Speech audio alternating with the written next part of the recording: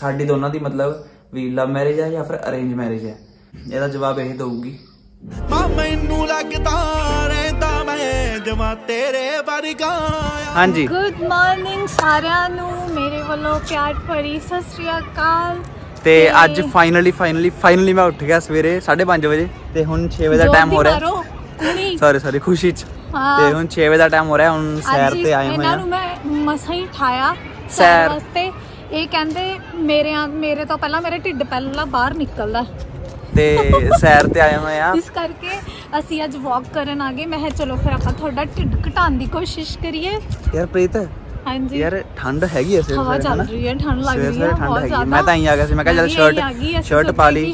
ਕੋਈ ਚੱਕਰ ਨਹੀਂ ਵੀ ਕਿੰਨੀ ਕੁ ਹੋਣੀ ਯਾਰ। ਸੋ ਗਾਇਸ ਮੈਨੂੰ ਤਾਂ ਲੱਗਿਆ ਸੀਗਾ ਕਿ ਬਾਹਰ ਊ ਊ ਗਰਮੀ ਲੈ ਮੈਨੂੰ ਹੋ ਫੜਾ। ਦੇ ਥੱਕ ਜਾਈਂ। ਹਾਂ ਮੇਰੀ ਬਾਹ ਗਈ। ਹਲੋ ਵੀ ਸਾਨੂੰ ਤਾਂ ਲੱਗਿਆ ਸੀ ਵੀਰੇ ਗਰਮੀ ਹੋਊਗੀ ਬਟ ਗਰਮੀ ਮਤਲਬ ਕਿਉਂਕਿ ਮਤਲਬ ਦਿਨ- ਕਿਉਂਕਿ ਦਿਨਾਂ ਦਿਨਾਂ ਚ ਨਾ ਦਿਨਾਂ ਚ ਹਾਂ। ਗਰਮੀ ਹੁੰਦੀ ਹੈ ਕਾਫੀ। ਮਤਲਬ 30 ਹੁਣ 34 ਏਦਾਂ ਤੱਕ ਹੋ ਟੈਂਪਰੇਚਰ ਕਿ ਮਾਰਨਿੰਗ ਦੁਪਹਿਰੇ ਦੁਪਹਿਰੇ ਉਹ ਹੁੰਦੀ ਆ ਬਟ ਰਾਤ ਦੀ ਰਾਤ ਸਾਨੂੰ ਲੱਗਿਆ ਨਹੀਂ ਕਿਉਂਕਿ ਅੱਜ ਫਸਟ ਡੇ ਆ ਵਾਕ ਦਾ ਤੇ ਸਾਨੂੰ ਲੱਗਿਆ ਸੀ ਕਿ ਸ਼ਾਇਦ ਹੁਣ ਵੀ ਮਤਲਬ ਥੋੜਾ ਸੇਕ ਹੋਊਗਾ ਬਟ ਗੋਏ ਤੇ ਨਾ ਚੜ ਜਿਓ। ਸਰ ਸਾਈਡ ਹੋ ਜਾ ਲੈਫਟ ਰਾਈਟ ਹੋ ਜਾ ਹੁਣ। ਸਵੇਰੇ ਲੋਕ ਨਿਕਲ ਜਾਂਦੇ ਨੇ ਜਿੱਦਾਂ ਤੁਸੀਂ ਦੇਖ ਸਕਦੇ ਹੋ ਪਤਾ ਨਹੀਂ ਅਸੀਂ ਨਿਕਲੇ ਆ ਅੱਜ। ਨਹੀਂ ਪਤਾ ਨਹੀਂ ਅਸੀਂ ਲੇਟ ਆ ਬਣੀ ਉਹ ਸੱਜ ਰਹੇ ਨੇ। ਪਤਾ ਨਹੀਂ ਅਸੀਂ ਲੇਟ ਆ ਪਤਾ ਨਹੀਂ ਲੋਕ ਸਾਜਰੇ ਨਿਕਲੇ ਫਿਰਦੇ ਨੇ। ਗੋਡ ਨੋਸ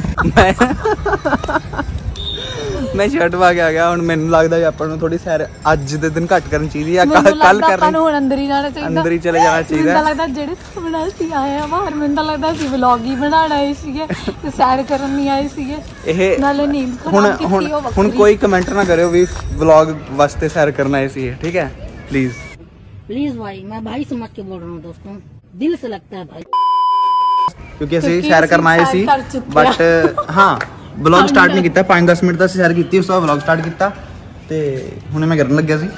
ਐਵੇਂ ਨਹੀਂ ਨਹੀਂ ਗਿਰ ਸਕਦਾ ਮੇਰੇ ਹੁੰਦੇ ਨਹੀਂ ਗਿਰ ਸਕਦੇ ਆਪ। ਹੈ? ਨਹੀਂ ਗਿਰ ਸਕਦੇ ਆਪ ਨਹੀਂ ਉੱਤੇ ਬਿਲਕੁਲ ਵੀ ਨਹੀਂ ਤੇ ਹੁਣ ਮੰਮੀ ਨੂੰ ਕੀ ਆ ਕੇ ਆਈ ਕਿੰਨਾ ਟਾਈਮ ਕਰ ਕਰਕੇ ਆਏ ਆਪਾਂ? ਮੈਨੂੰ ਤਾਂ ਲੱਗਦਾ ਮੰਮਾ ਸੋ ਗਏ। ਸੀ ਨਾ ਇੱਕ ਵਾਰ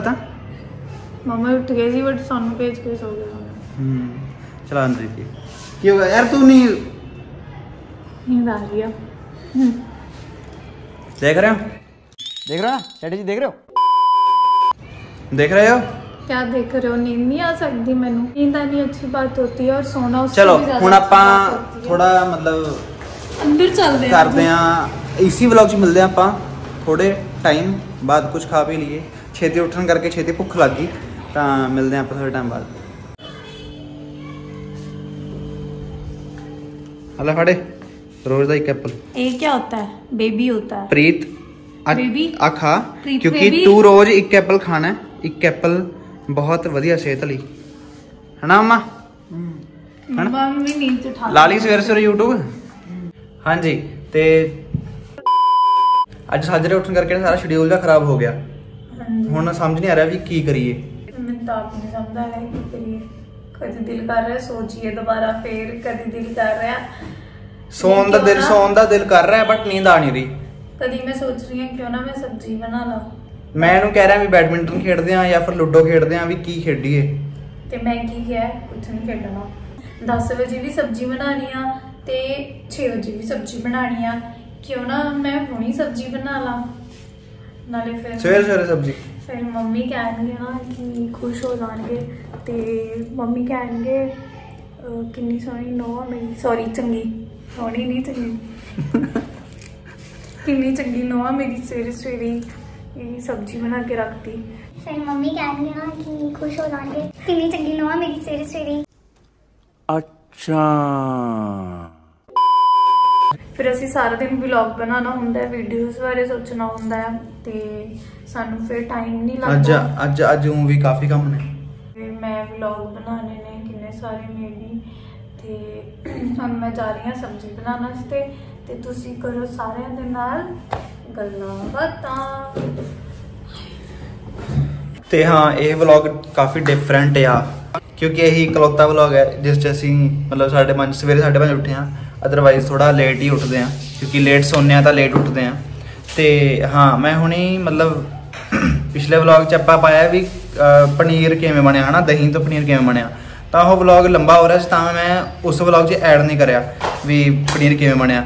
ਅੱਜ ਤੁਹਾਨੂੰ ਇਸ ਵਲੌਗ 'ਚ ਮੰਮੀ ਤੁਸੀਂ ਇਸ ਵਲੌਗ 'ਚ ਮੰਮੀ ਤੁਹਾਨੂੰ ਰੈਸਿਪੀ ਦੱਸਣਗੇ ਕਿ ਪਨੀਰ ਕਿਵੇਂ ਬਣਿਆ। ਤੇ ਮੰਮੀ ਤੁਹਾਨੂੰ ਦੱਸਣਗੇ ਵੀ ਰੈਸਿਪੀ ਕਿਉਂਕਿ ਅਗਰ ਮੈਂ ਦੱਸੂਗਾ ਤੁਹਾਨੂੰ ਜਾਂ ਫਿਰ ਇਹ ਦੱਸੂਗੀ ਵੀ ਪਨੀਰ ਕਿਵੇਂ ਬਣਿਆ ਅਗਰ ਇਹਨੇ ਜਾਂ ਮੈਨੇ ਕਿਉਂਕਿ ਸਾਨੂੰ ਇੰਨਾ ਹਲੇ ਹਲੇ ਨਹੀਂ ਪਤਾ ਹਨਾ? ਕਿ ਮੰਮੀ ਨੇ ਇਨਵੈਂਸ਼ਨ ਮੈਂ ਕੀਤੀ ਬਣਾਇਆ ਸੀ ਸੀ ਕੱਲ ਬਟ ਮੰਮਾ ਨੇ ਮੇਰੀ ਹੈਲਪ ਕਰਾਈ ਸੀ ਇਨਵੈਂਸ਼ਨ ਮੰਮੀ ਨੇ ਕੀਤੀ ਸੀ ਇੱਧਰ ਵੀ ਪਨੀਰ ਬਣਾਉਣ ਦੀ ਹਨਾ ਦਹੀਂ ਤੋਂ। ਮਲਾਈ ਤੇ ਦਹੀਂ ਮਿਕਸ ਮਤਲਬ ਉਹਨਾਂ ਨੂੰ ਕੁਝ ਕਰਕੇ ਉਹਦਾ ਪਨੀਰ ਬਣਦਾ ਹੈ। ਅਗਰ ਇਹ ਜਾਂ ਮੈਂ ਦੱਸੂਗਾ ਅਗਰ ਸਾ- ਸਾਡੇ ਤੋਂ ਕੁਝ ਗਲਤ ਹੋ ਗਿਆ ਕੁਝ ਨੂਣ ਮਿਰਚ ਮਸਾਲਾ ਗਲਤ ਦੱਸਦਾ ਸੀ ਤੁਸੀਂ ਖਾਓ ਤਾਂ ਤੁਹਾਡਾ ਉਧਰੋਂ ਕੁਝ ਖਰਾਬ ਬਣ ਜੇ ਤਾਂ ਤੁਸੀਂ ਗਾਲਾਂ ਸਾਨੂੰ ਕੱਢੋਗੇ। ਇਸ ਚੀਜ਼ ਦਾ ਜਿਹੜਾ ਮਾਸਟਰ ਹੈ ਤੁਹਾਨੂੰ ਉਹਦੇ ਮੂੰਹੋਂ ਸੁਣਵਾਵਾਂਗੇ ਵੀ ਕੱਲੀ ਕੱਲੀ ਚੀਜ਼ ਕਿਵੇਂ ਪੈਂਦੀ ਆ। ਹਾਂ, ਇਸੀ ਤੇ- ਵਲੌਗ 'ਚ। ਮੈਂ ਪਹਿਲਾਂ ਸੋਚਿਆ ਸੀਗਾ ਅਗਲੇ ਵਲੌਗ 'ਚ ਦੱਸੂਗਾ। ਬਟ ਉਦੋਂ ਤੱਕ ਇਹ ਵੀ ਭੁੱਲ ਜਾਣਗੇ ਹਨਾ? ਤੁਸੀਂ ਭੁੱਲ ਜਾਓਗੇ ਉਦੋਂ ਅਸੀਂ ਤੱਕ ਵੀ ਭੁੱਲ ਕਿ ਜਾਵਾਂਗੇ ਅਸੀਂ ਕਿਸ ਚੀਜ਼ ਦੀ ਰੈਸਿਪੀ ਦੱਸ ਰਹੇ ਹਾਂ ਤੁਹਾਨੂੰ ਤੁਹਾਨੂੰ ਵੀ ਨਹੀਂ ਯਾਦ ਰਹਿਣਾ ਸਾਨੂੰ ਵੀ ਨਹੀਂ ਯਾਦ ਰਹਿਣਾ। ਇਸ ਕਰਕੇ ਹੁਣ ਪਿਛਲਾ ਵਲੌਗ ਪਿਆ ਤਾਂ ਨਾਲ ਦੀ ਨਾਲ ਆਪਾਂ ਤੁਹਾਨੂੰ ਦੱਸ ਦਿੰਦੇ ਆ ਆਪਾਂ ਲੇਟ ਨਹੀਂ ਕਰਦੇ। Yes. ਆਪਾਂ ਜਿਵੇਂ ਜਿਵੇਂ ਜਿਵੇਂ ਅਸੀਂ ਚੱਲਦੇ ਹਾਂ ਉਵੇਂ ਉਵੇਂ ਆਪਣੀ ਫੈਮਿਲੀ ਨੂੰ ਫੈਮਿਲੀ ਨੂੰ ਨਾਲ ਲੈ ਕੇ ਚੱਲਦੇ ਹਾਂ ਰਾਈਟ ਤਾਂ ਇਸੇ ਵਲੌਗ 'ਚ ਤੁਹਾਨੂੰ ਦੱਸਾਂਗੇ ਵੀ ਸਾਰਾ ਕੁਝ ਕਿਵੇਂ ਕਿਵੇਂ ਹੋਇਆ। ਹੁਣ ਆਪਾਂ ਇਸੇ ਵਲੌਗ 'ਚ ਮਿਲਦੇ ਹਾਂ ਥੋੜੇ ਟਾਈਮ ਬਾਅਦ ਕਿਉਂਕਿ ਮੰਮੀ ਨਹਾਣ ਗਏ ਹੋਏ ਨੇ। ਉਹ ਜਿਵੇਂ ਜਿਵੇਂ ਆਣਗੇ ਤੇ ਥੋੜਾ ਫ੍ਰੀ ਹੋ ਕੇ ਤੁਹਾਡੇ ਨਾਲ ਗੱਲ ਕਰਾਣੇ ਆ ਮੰਮੀ ਦੀ ਡਾਇਰੈਕਟ ਤੇ ਮਿਲਦੇ ਹਾਂ ਹੁਣ ਥੋੜੇ ਟਾਈਮ ਬਾਅਦ। ਸਵੇਰੇ ਸਵੇਰੇ ਲੱਗ ਰਹੇ ਨੇ ਪ੍ਰੀਤ ਦੇ ਹੱਥ ਦੇ ਤੜਕੇ। ਕਾਹਦੀ ਸਬਜ਼ੀ ਬਣਾ ਰਹੀ ਹੈ? ਪੇਠੇ ਦੀ। ਉਹ ਬੈਠਾ ਕੱਟਾ ਪਿਆ? ਹਾਂ। ਬੈਠਾ ਆਲੂ ਵਰਗਾ ਕਿਉਂ ਹੈ? ਆਲੂ ਵਰਗਾ ਨਹੀਂ ਹੈ ਪੇਠਾ ਪੇਠਾ। ਅੱਛਾ ਇਹ ਜਾਂਦਾ ਹੈ ਇਹ ਜਾਂਦਾ अभी आप देख सकते हो ये जो मैंने पॉलोथीन में रखे हुए हैं अलग से तेन गल पता है चाट मसाला। तेन गल पता है? नहीं। तो ये है गरम मसाला। ये है गर नहीं सॉरी चाट मसाला। हाँ, होगी सवेरे सवेरे बंद लगी ये है चाट मसाला और ये है गरम मसाला। जिसको मैं मतलब गरम मसाला मम्मी मुझे इतने मसाले डालने नहीं देते। ते एक गल सुन। आपने मुझे बदला दिया है क्योंकि मैं भूल चुकी हूँ मैंने कौन सा मसाला इसमें डाल दिया और कौन सा नहीं सच में ये बोल गई तू।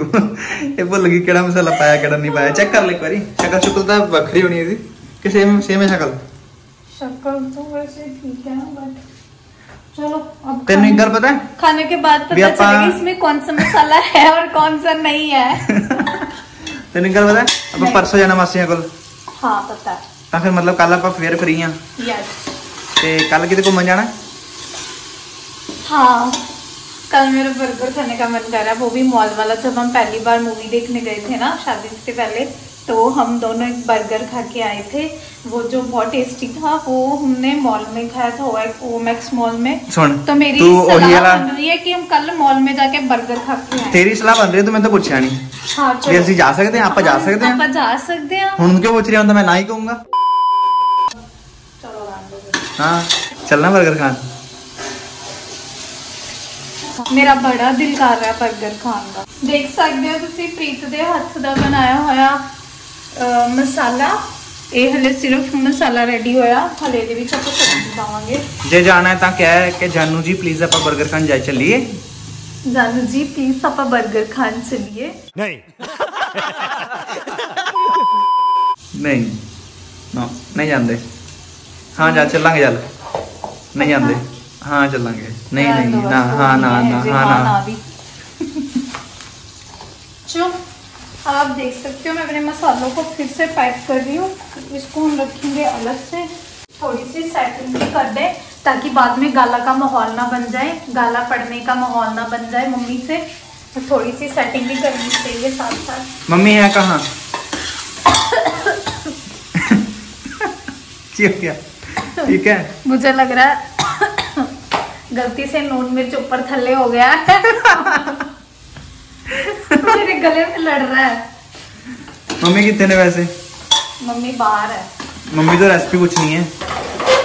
हाँ मम्मी से रेसिपी पूछेंगे हम बट आई थिंक मम्मी थोड़ा सा शायद फील करेंगे तो प्लीज़ आप उनके साथ कंपनी देना उनको ताकि वो शायद ना फील उनको प्यारे प्यारे कमेंट्स करना।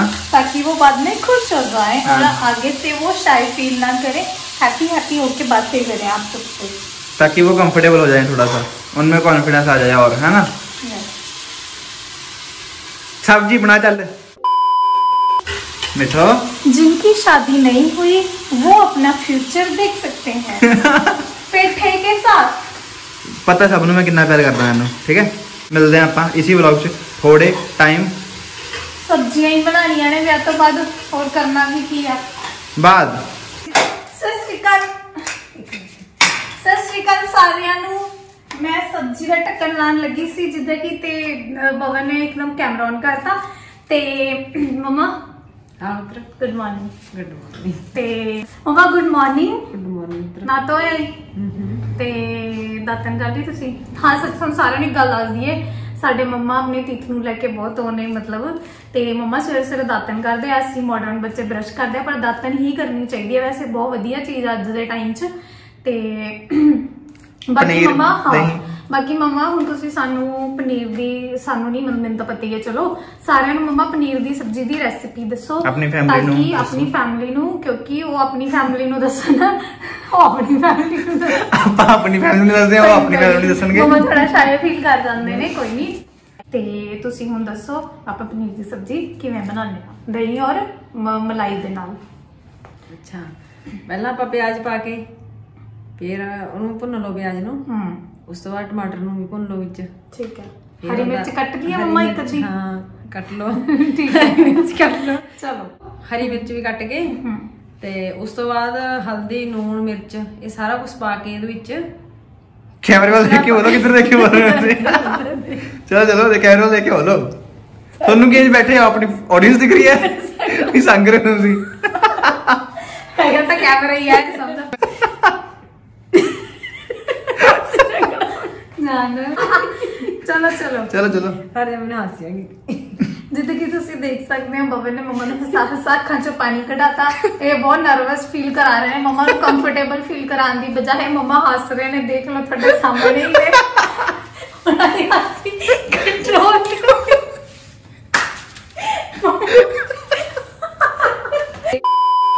ਤੇ ਮੈਂ ਕੁੱਕਰ ਦਾ ਢੱਕਣ ਲਾਦਾ ਕਿ ਤੇ ਮੇਰੀ ਸਬਜ਼ੀ ਸੜ ਜੇ ਆ ਆ ਜਾਓ।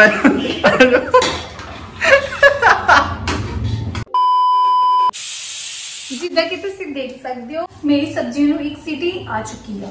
ਚਲੋ। ਹੁਣ ਬੋਲੋ। ਹੁਣ ਆਪਾਂ ਦੁਬਾਰਾ ਤੋਂ ਸਟਾਰਟ ਕਰਦੇ ਹਾਂ। ਮੰਮਾ ਨਹੀਂ, ਹਲਦੀ- ਬਹੁਤ ਔਖੀ ਕੰਟਰੋਲ ਕਰਾ ਕੇ ਲਿਆਏ ਆ ਅਸੀਂ ਦੁਬਾਰਾ ਫਿਰ। ਚਲ ਦੁਬਾਰਾ ਤੋਂ ਸਟਾਰਟ ਕਰੋ ਬਿਲਕੁਲ ਦੁਬਾਰਾ ਸਟਾਰਟ ਆਪਾਂ ਕਰੋ। ਦੁਬਾਰਾ ਤੋਂ ਸਬਜ਼ੀ ਸਟਾਰਟ ਕਰਦੇ ਹਾਂ। ਹੂੰ। ਪਹਿਲਾਂ ਆਪਾਂ ਪਿਆਜ਼ ਕੱਟ ਲਓ।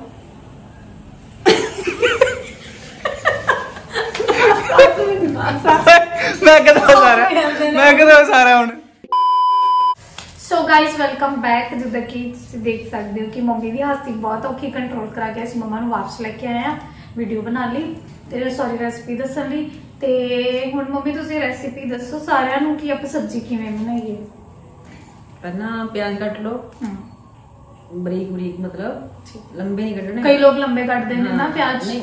ਬਰੀਕ ਕੱਟਣੇ ਆ। ਹਾਂ ਛੋਟੇ ਕੱਟਣੇ ਠੀਕ। ਪਿਆਜ਼ ਕੱਟ ਕੇ ਉਹਨਾਂ ਨੂੰ ਮਤਲਬ ਤੇਲ ਪਾ ਲਓ ਚਾਹੇ ਰਿਫਾਈਂਡ ਪਾ ਲਓ। ਜਿਹੜੇ ਵੀ ਮਤਲਬ ਜਿਹੜੀ ਮੰਮੀ ਦੇ ਕਹਿਣ ਦਾ ਮਤਲਬ ਹੈ ਜਿਹੜੇ ਵੀ ਆਇਲ 'ਚ ਤੁਸੀਂ ਤੜਕਾ ਲਾਉਂਦੇ ਹੋ ਉਹ ਵਾਲਾ ਆਇਲ ਯੂਜ਼ ਕਰ ਲਓ। ਉਹ ਚ ਪਾ ਕੇ ਉਹਨਾਂ ਨੂੰ ਭੁੰਨ ਲਓ ਪਿਆਜ਼ ਨੂੰ। ਤੇ ਉਸ ਤੋਂ ਬਾਅਦ ਫਿਰ ਟਮਾਟਰ ਪਾ ਲਓ ਕੱਟ ਕੇ ਬਰੀਕ ਬਰੀਕ। ਉਹਨਾਂ ਨੂੰ ਭੁੰਨ ਲਓ ਚੰਗੀ ਤਰ੍ਹਾਂ।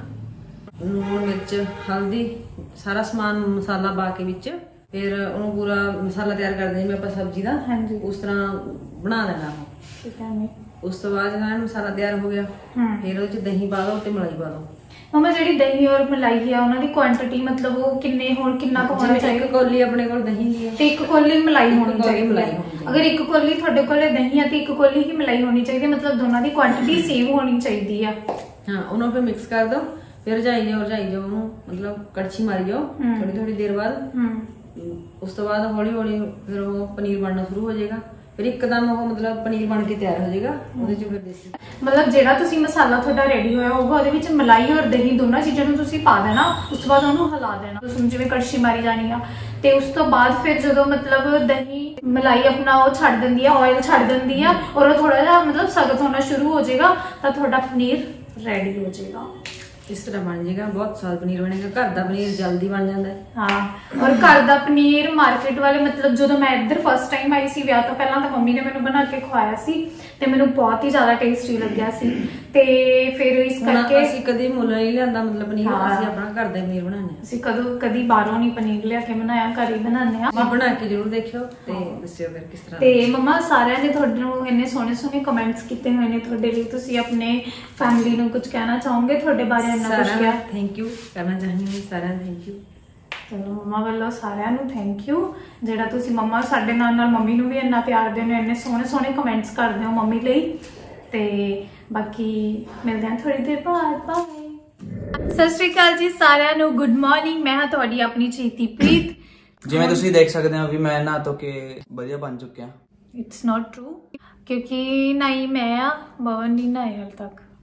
ਤੁਸੀਂ ਦੇਖ ਸਕਦੇ ਹੋਵੋਗੇ ਜਦੋਂ ਵਾਕ ਕਰਨ ਗਏ ਸੀਗੇ ਬਵਨ ਉਹੀ ਕੱਪੜਿਆਂ 'ਚ ਨੇ ਤੇ ਮੈਂ ਚੇਂਜ ਕੀਤੇ ਨੇ ਇਟ ਮੀਨਸ ਮੈਂ ਨਹਾਈ ਆ।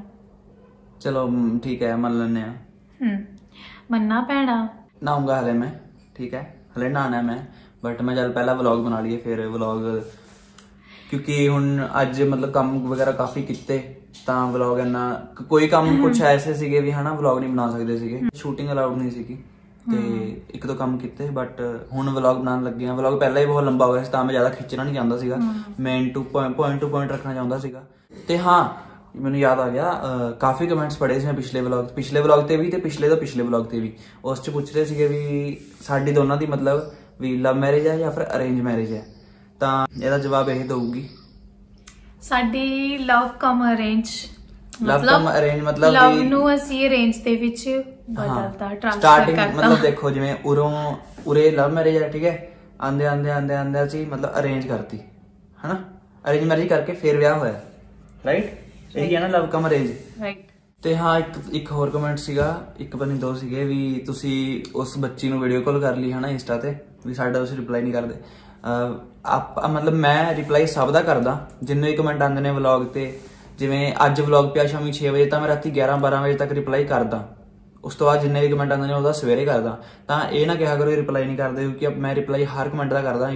ਜੇ 300 ਕਮੈਂਟ ਆਉਂਦਾ 300 300 ਕਰਦਾ। ਕਈ ਵਾਰ ਇੱਕ ਅੱਧਾ ਵਿੱਚੋਂ ਲੰਘ ਜਾਂਦਾ ਤਾਂ ਉਹਦੇ ਲਈ ਮਾਫੀ ਬਟ ਮੈਂ ਰਿਪਲਾਈ ਕਰਦਾ ਸਾਰਿਆਂ ਦੇ। ਇਹ ਸੀ YouTube ਦੇ ਕਮੈਂਟਾਂ ਦੀ ਗੱਲ ਤੇ ਇੰਸਟਾ ਤੇ ਜਿਹੜੇ ਮੈਸੇਜ ਆਉਂਦੇ ਨੇ, ਹਨਾ ਇੰਸਟਾ ਤੇ ਫਿਲਹਾਲ ਥੋੜਾ ਪਹਿਲਾਂ ਸ਼ਾਰਟ ਮੂਵੀ ਵਾਲੇ ਚੈਨਲ ਦੇ ਰਿਪਲਾਈ ਕਰਨੇ ਪੈਂਦੇ ਨੇ ਫਿਰ ਵਲੌਗ ਚੈਨਲ ਦੇ ਰਿਪਲਾਈ ਕਰਨੇ ਪੈਂਦੇ ਨੇ। ਤਾਂ ਇੰਸਟਾ ਤੇ ਥੋੜਾ ਘੱਟ ਮਤਲਬ ਰਿਪਲਾਈ ਕਰ ਰਿਹਾ।